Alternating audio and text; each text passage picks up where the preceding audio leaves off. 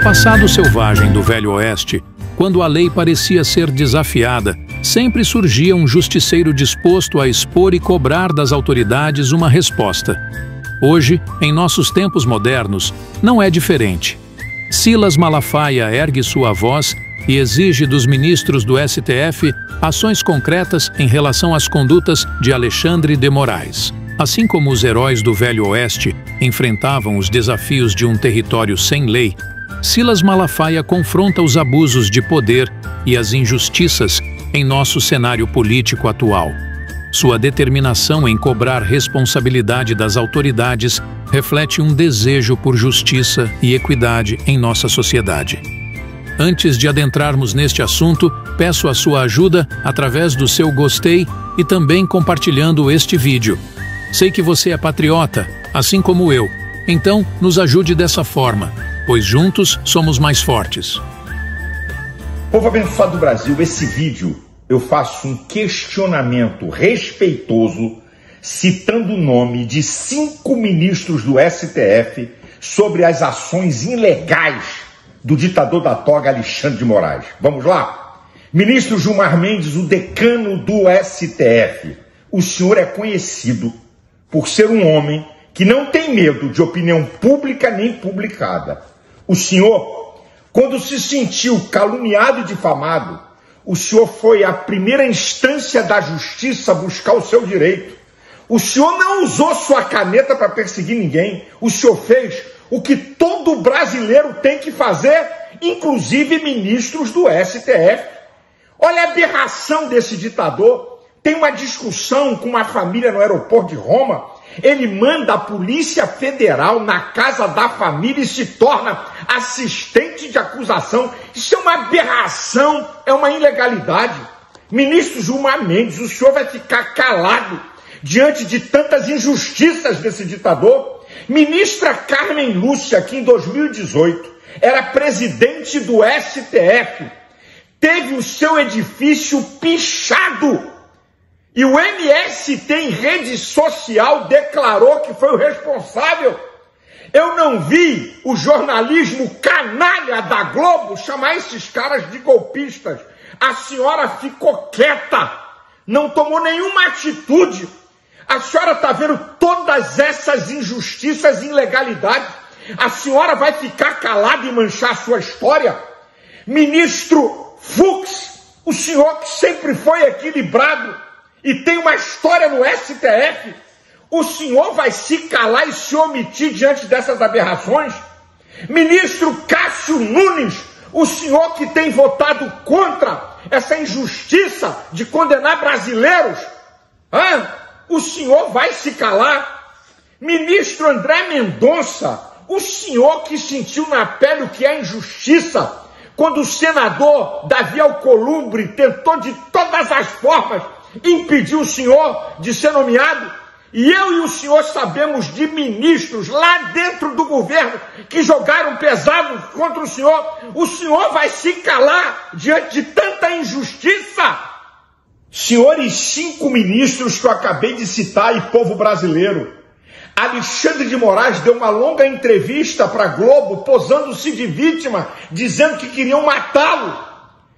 Minha gente, isso é vergonha se ele é vítima. Ele não pode acusar, não pode investigar, não pode julgar. Vai contra o ordenamento jurídico brasileiro. É uma afronta às leis ele é impedido de estar diante desses processos. É imoral, ilegal. O senhor Alexandre de Moraes, numa verdadeira obsessão, quer provar que houve uma tentativa de pseudo-golpe. Que minuta de golpe é essa? É o estado de defesa que Bolsonaro, como presidente, podia invocar e desistiu? Que reunião filmada com ministros é uma dinâmica de golpe. Assista a reunião para ver onde é que tem golpe. Ele prendeu gente para ver se pressiona psicologicamente e fala contra Bolsonaro. Apreendeu os telefones de Bolsonaro do seu entorno. Não arrumou nada. Que pseudo golpe dia 8? Cadê metralhadora, bomba e granada? Cadê? Isso é uma vergonha! Isso é uma afronta à Constituição, ao Estado Democrático de Direito e ao povo. Preste atenção, senhores, nessa minha palavra final. Senhores ministros do STF citados, ou os senhores param com esse ditador porque ele está manchando o STF, ou os senhores vêm a público se manifestar porque vocês estão no mesmo nível que ele. Essa saga doentia de Alexandre de Moraes querer prender Bolsonaro baseados em fatos ilegais e imorais é uma vergonha. Vão arrumar problema no Brasil. E eu não estou fazendo ameaça. Dia 25 de fevereiro, com Bolsonaro ou sem Bolsonaro, nós vamos estar na Paulista, porque não vamos aceitar o atentado ao Estado Democrático de Direito. Se tem alguém que deu golpe, é Alexandre de Moraes. Ele tem que tomar um impeachment e ser preso. Essa que é a verdade. Deus tenha misericórdia do Brasil. Deus abençoe você e sua família. Bolsonaro toma atitude contra Moraes e mostra que vai até as últimas consequências. A defesa do ex-presidente Jair Bolsonaro, PL, protocolou no Supremo Tribunal Federal, STF, uma petição pedindo o impedimento do ministro Alexandre de Moraes da investigação sobre uma suposta tentativa de golpe de Estado. Os advogados argumentam que Moraes, ao se identificar como alvo do plano, não teria imparcialidade para julgar o caso. Segundo a petição, a decisão de Moraes, que deflagrou a Operação Tempus Veritatis, menciona o próprio ministro mais de 20 vezes como alvo do plano. A narrativa criada pelo ministro o coloca na posição de vítima e julgador, o que configura flagrante conflito de interesses. Argumentam os advogados Paulo Amador da Cunha Bueno, Daniel Betamio Tesser, Fábio Weingarten, Saulo Lopes Sigal, Thaís de Vasconcelos Guimarães, Clayton Edson Soares e Bianca Capalbo Gonçalves de Lima. O processo caiu no colo do ministro Luiz Roberto Barroso. O ato de coragem de Bolsonaro, junto com a recente convocação do povo para a manifestação na Paulista, mostra que o ex-presidente vai até as últimas consequências.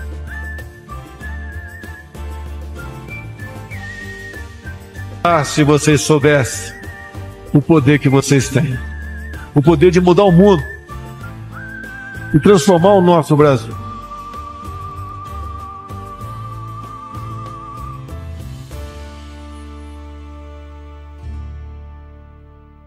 O amor, o patriotismo, a entrega não tem preço. Meus senhores, minhas senhoras, irmãos cristãos brasileiros, o meu sonho é o sonho de vocês.